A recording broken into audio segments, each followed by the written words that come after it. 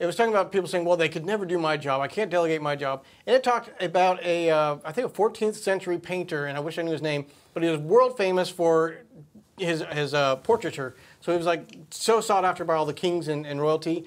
But the main thing he was known for is like capturing the face and the facial expressions and being so like perfect at faces that he, his demand got so high, he hired a crew to paint the rest of the scene. So that's what took all the time was painting the backdrop, painting the dresses, painting the curtains.